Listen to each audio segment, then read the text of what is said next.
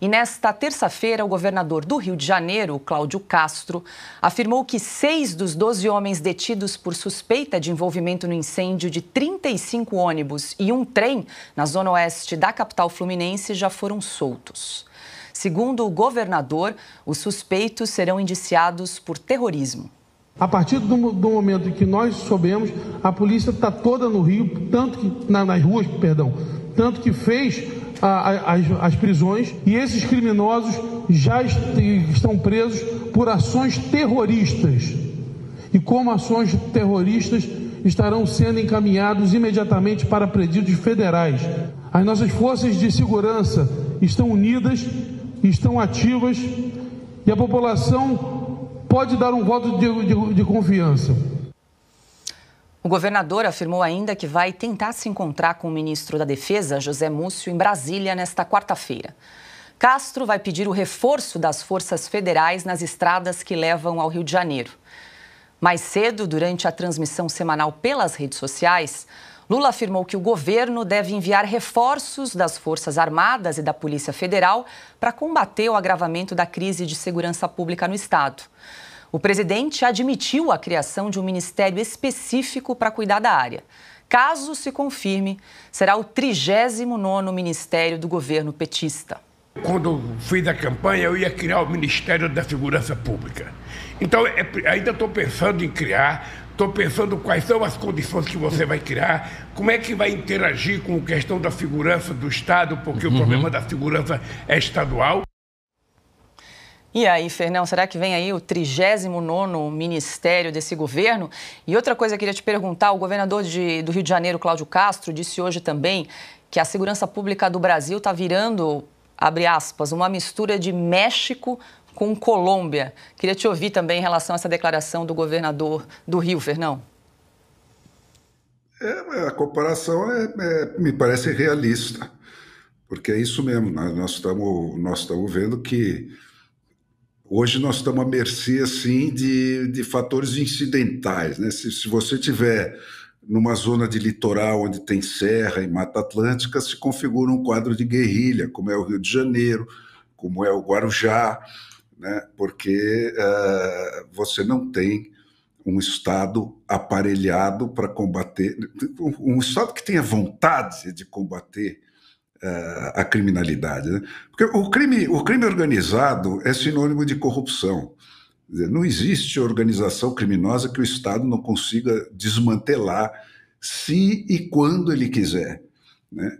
Basta ver até esse caso aí das metralhadoras do Exército Brasileiro, estão sendo recuperadas no grito, né? não precisa nem eh, fazer mais do que eh, dizer que você vai pegar.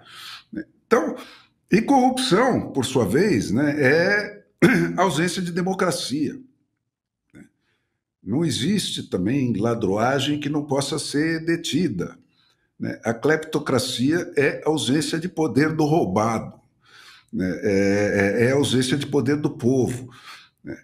E ela só foi detida historicamente, desde o início dos tempos, pelo advento da democracia, que, é o, que é o único sistema político que parte de uma definição realista do que é o ser humano, né, que é um bicho muito mais propenso ao fracasso e, e, e, a criminalidade e a corrupção do que a virtude.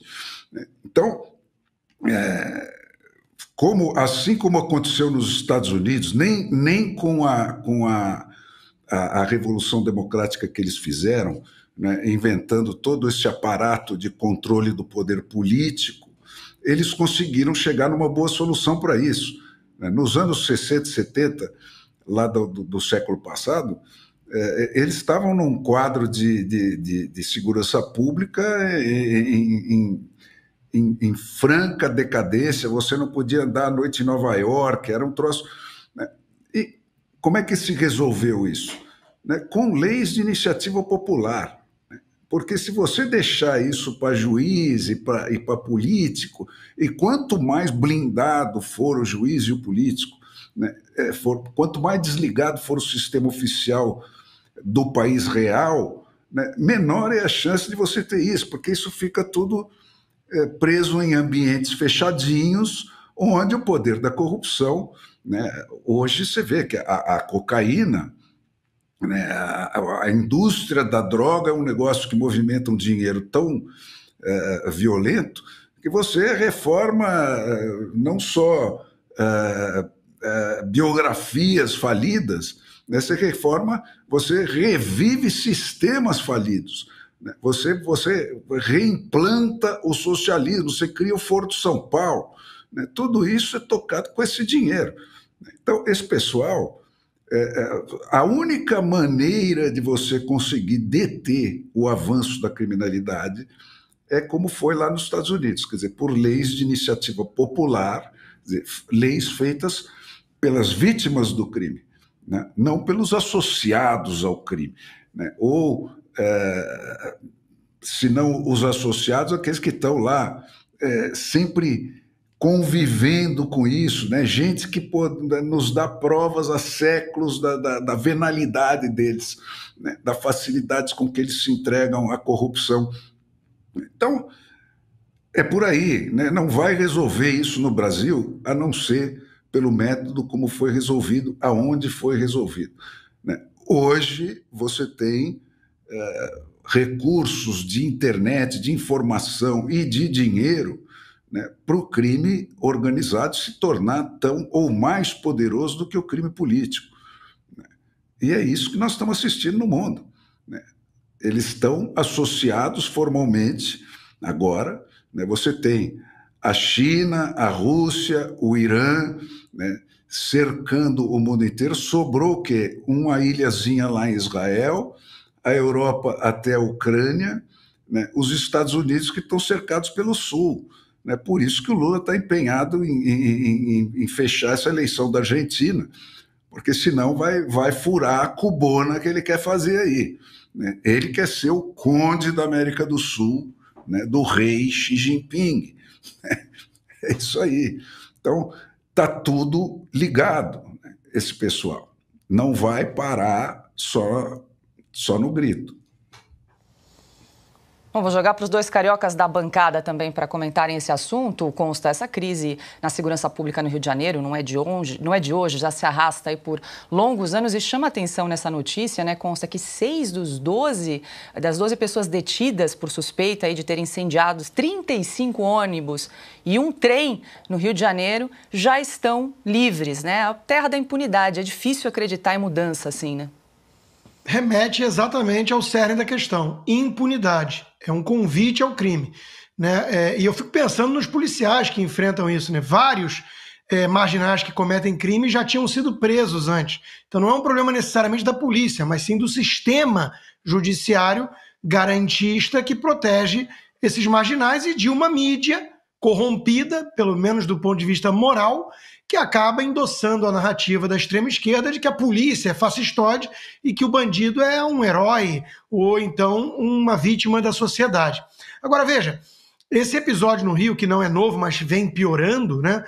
É, ele aconteceu a reboque aí desses ataques bárbaros, selvagens em Israel pelo Hamas, e isso tudo embaralhou com muita dificuldade a narrativa da esquerda de que uh, os bolsonaristas, leia-se patriotas, que condenam o abuso, o arbítrio é, supremo e os comunistas querendo, como disse muito bem o Fernão, transformar a região toda num cubão né, e, e o Brasil num anexo, numa província chinesa, é, de terroristas. Então, veja, isso é terrorismo.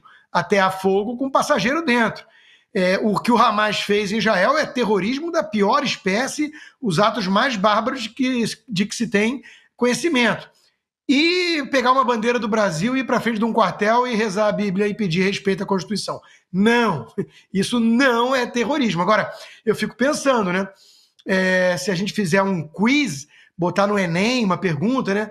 É, adivinhe quem vai pegar mais anos de prisão: os terroristas do Hamas os milicianos, os traficantes, os terroristas do Rio de Janeiro, ou a senhorinha faxineira que carregava a Bíblia e foi enquadrada num um crime de culpa coletiva, associação armada, sendo que ela estava armada apenas com a Bíblia, né? Que talvez para essa gente seja uma arma muito perigosa mesmo. É, se botar água benta junto, aí, aí lascou. Então veja, como diria o presidente do nosso STF, né? Os meninos Os meninos, eles se referem assim a alguns traficantes né, menores. Os meninos precisam ser poupados. O outro colega dele impediu, durante a pandemia, ações da polícia com um helicóptero nas favelas do Rio de Janeiro. Nós vamos falar mais à frente, o, o covardão comunista, né, ministro da Segurança Pública, ele não foi ah, ao convite da, do Congresso porque ele tem medo, medo de gente armada, né? É, é o deboche, né? Como você disse na abertura, Paula. Mas ele vai e frequenta favelas dominadas pelo crime organizado, sem escolta policial. Né? Então ali não é perigoso para ele, que é um comunista. Né? Imagina se um governador é, que combate o crime organizado como Tarcísio for para uma favela dessas é, sem alguma escolta e coisa assim. Então, o, o, tudo está ligado, né? A mídia, o Supremo, os comunistas, todos são parte do problema. Eles ficam culpando as armas, é, num deboche também a nossa inteligência. A violência só vai ceder quando o STF deixar a polícia cumprir sua missão. Quem disse isso foi o secretário de Minas Gerais. Então nós estamos lidando aqui com crime organizado. O Brasil está virando um narco-estado, como já virou a Colômbia, como o México é, né? E tudo isso é muito preocupante. É, o meu querido Rio de Janeiro, do qual eu é, saí há mais de oito anos, né? em parte pela violência, em parte por questões mais nacionais, a reeleição de Dilma Rousseff, né? ele vai ladeira abaixo. E isso é uma espécie de é, alerta para o que o Brasil pode se tornar amanhã. Então, de novo, o problema é a impunidade e uma esquerda, e uma esquerda com aliança suprema que, de alguma forma, protege os marginais e persegue como se terroristas fossem as senhorinhas, as faxineiras, os pedreiros que estavam lá pedindo respeito à Constituição. Lacombe, o presidente Lula disse hoje, então, que estuda, está pensando em desmembrar né, o Ministério da Justiça e Segurança Pública para emplacar aí, o 39 Ministério. Hoje essa pasta é comandada pelo Flávio Dino e a gente não tem visto nenhuma ação concreta de combate ao crime organizado nessa pasta hoje comandada pelo Flávio Dino, né? Paula, você sabe que eu já ouvi é, especialistas em segurança pública, pelos quais eu tenho grande admiração, grande consideração, defenderem é, essa, esse desmembramento aí do Ministério da Justiça, né? Ministério da Justiça e Ministério da Segurança Pública. Eu acho, sinceramente, mais um não dá, que o Lula está atrás desse recorde da, da Dilma, né? ela, ela teve 40 ministérios e o Lula tem quebrado todos os recordes negativos, então ele está atrás de mais um agora. Mas é, eu, pessoalmente, sou sou contra. Eu, eu, acho que é melhor você achar, então, alguém que entenda da parte jurídica e entenda também profundamente de segurança pública, que não, não me parece absolutamente né, uh, o, o, Flávio Dino a pessoa para mexer com segurança pública. A gente vai falar mais à frente sobre ele, já foi criticado, inclusive, dentro do PT, né, por um especialista em segurança pública que participou da transição de governo, na equipe do Lula lá no fim do ano e fez críticas pesadas ao, ao Flávio Dino. Então, eu, pessoalmente, sou contrário à, à criação de, de, mais um ministério, desmembrando aí o Ministério da Justiça e da Segurança Pública. Este assunto é um assunto que mexe terrivelmente comigo, que, que me deixa muito triste, coração partido, como carioca, como alguém que viu a degradação assim né, passo a passo, porque eu comecei minha carreira no jornalismo no fim da década de 1980 no Rio de Janeiro e, e, naquela época ali não tinha muito como escapar já das pautas de segurança pública ou pautas de polícia. Então acompanhei eh, todo o processo né, de, de, de, de, fortalecimento daqueles feudos né, nas favelas cariocas criados por, por traficantes de drogas. Né, eh, foi algo que, que, infelizmente, eu acompanhei passo a passo aquela população de bem, daquelas comunidades eh, virando proteção para bandidos, virando eh, escudo humano, então aquelas estruturas de labirinto das favelas, muitas rotas de fuga servindo de proteção para os traficantes. E tenho que citar, sempre cito quando falo desse assunto, Leonel Brizola tem uma grande culpa nisso. Né? Então, na, na, no governo dele, me lembro muito bem, entrevistei é, o Brizola também algumas vezes, aliás, um entrevistado dificílimo, que você perguntava A, ele respondia B, de repente ele fazia uma pausa e você perguntava C e ele ia dizer ou retomava o que ele estava falando, era dificílimo, dificílimo. Mas o Brizola é, provocou ali um, um, um desastre é, que, que a gente acompanha até hoje, e o STF seguiu a escola dele. Né? Então, na época do Brizola, a polícia não subia morro, a polícia não entrava em favela, era proibido o sobrevoo de helicópteros sobre as favelas, porque destelhava uh, os barracos. Uh, os, os, bandidos não podiam ser algemados e tinham que tratar os policiais por senhor.